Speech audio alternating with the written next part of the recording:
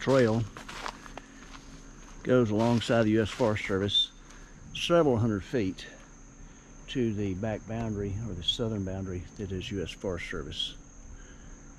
All the property lies on the east side of this trail.